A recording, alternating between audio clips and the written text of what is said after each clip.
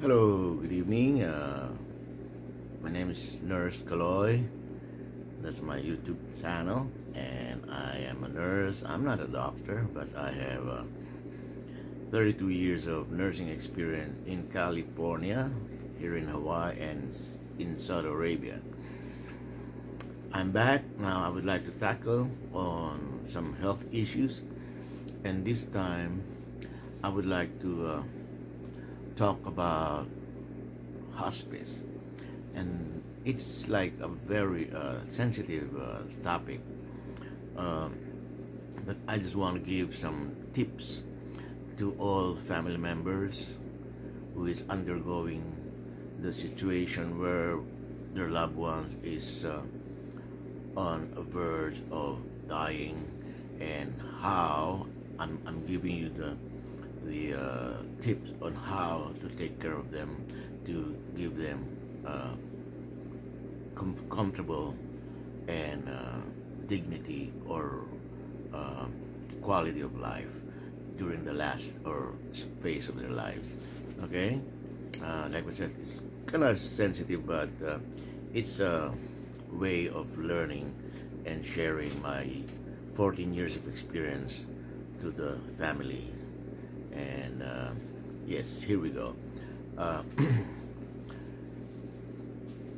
I work as a nurse 14 years uh, in a facility wherein uh, we took care of a hospice patient in inside a facility. So before I go further I would like you to know some defines hospice as a place wherein terminally ill patients are being confined. But that was a long time ago. So uh, the new, uh, I mean, uh, updated definition is now based of the services that we provide. So we define hospice as a program. It's a program composed of professionals collaborating to provide a palliative or relief to the patients and family for the, the patient to have uh, com- or relief from pain, comfortable, and to uh, maintain the quality of life before the time comes or the time he passes. Okay, uh, so that's the definition of hospice. It's not a hospital for terminally ill patient. Because nowadays uh, we are going to the home now. Do our home visits do health teachings to the family talk to the patient at bedside one-on-one not in a hospital setting anymore okay? So the definition is far gone. It's not a place it's not a hospital. Okay i made that clear Okay, uh, before a patient is admitted to a hospice, it's the doctor, mostly oncologist uh, for patient with cancer or nephrologist if a patient has nephrotic problem or CKD class 5 or whatever.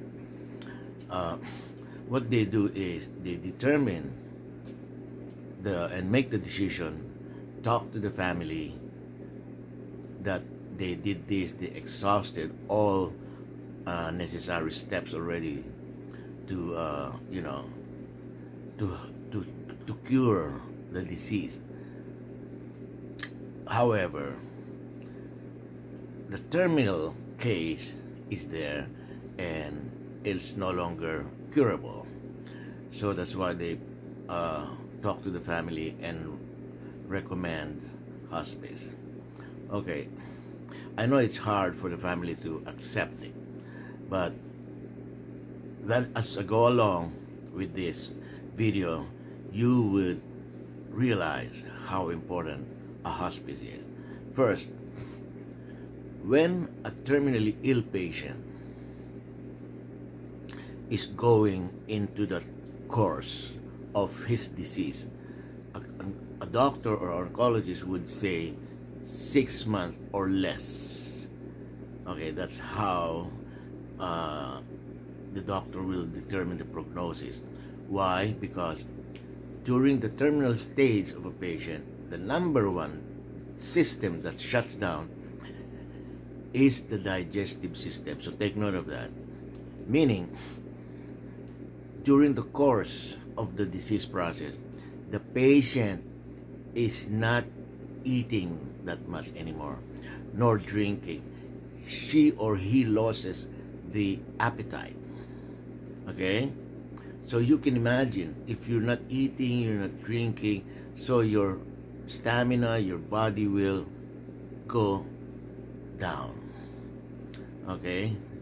So I would like to uh, uh, tell you more about what are the other systems that go down when you are terminally ill patient and that makes the doctor to decide to refer you to a hospice.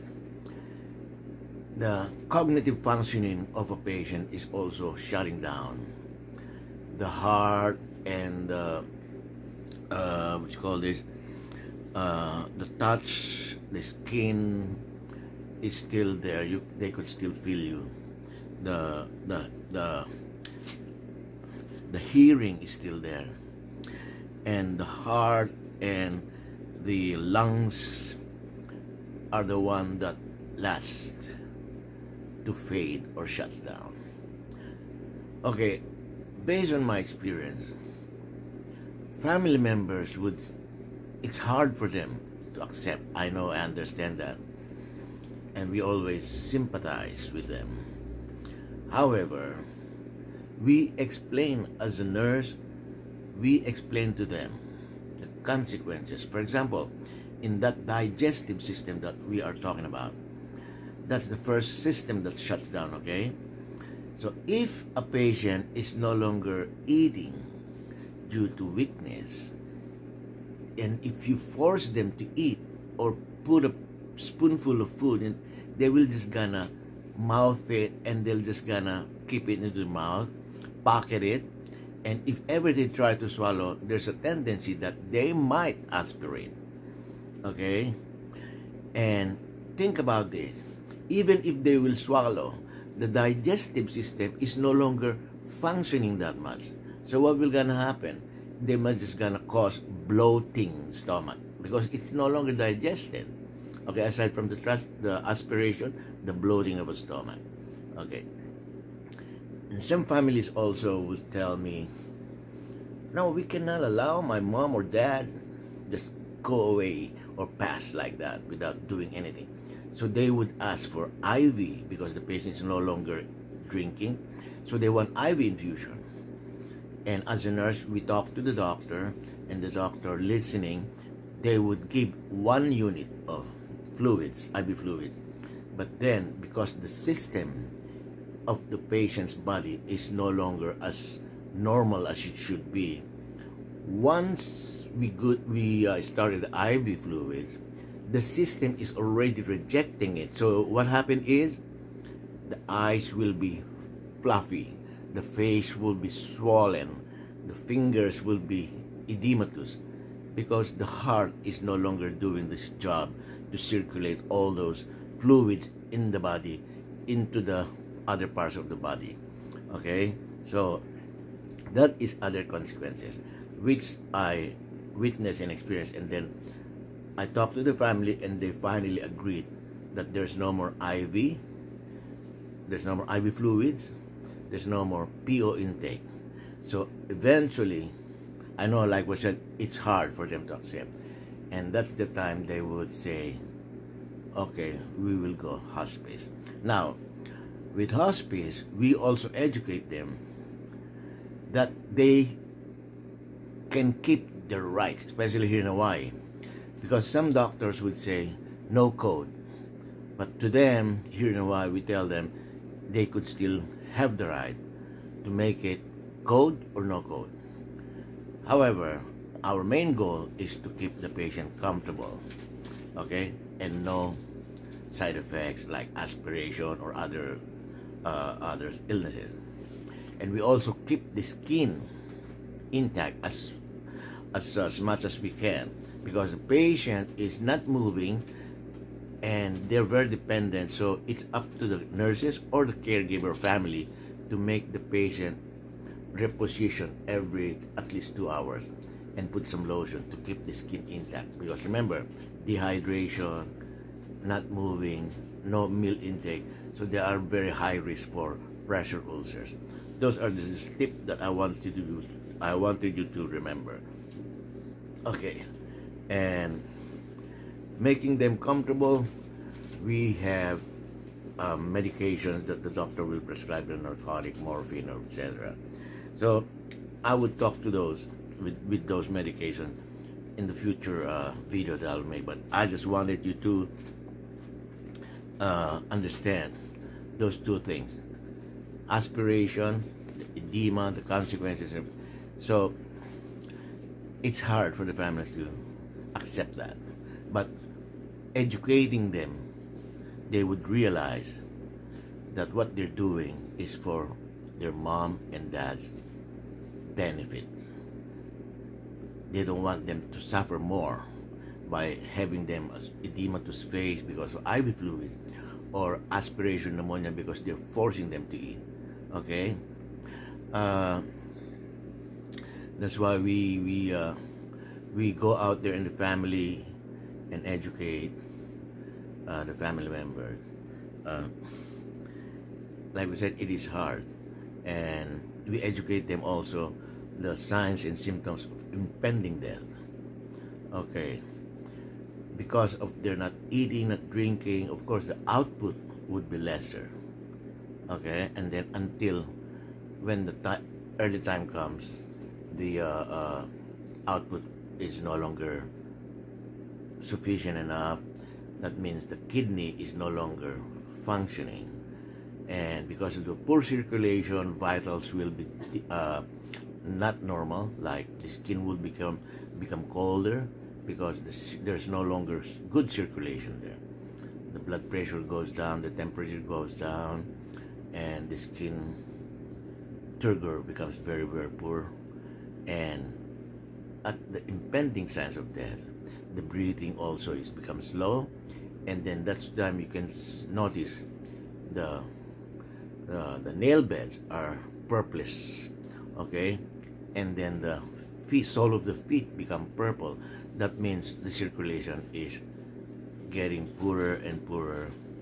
And then uh, the eyes will be uh, fixate. They, they can no longer see or they could not move their eyes anymore. Uh, that's what we call uh, blank stare or glass uh, staring already uh, because of the cognitive functioning, but they can still hear you. Okay, so lastly, I would like to talk about is just to make them comfortable and keep their skin intact to keep their quality of life before they pass. Okay, um, there's a lot of things to, dis- to discuss with regards to hospice, but for those tips that I mentioned to you, no force feeding, no IV fluids, but like we said, it's hard. So give me a, uh, make, uh, make a comment downstairs and I will reply. And for future uh, videos about hospice and I'll be glad to discuss more. So please do click the thumbs up and please subscribe and I'll be willing to help you guys. And uh, mahalo. Thank you in Hawaii. Uh, and have a good night. Bye bye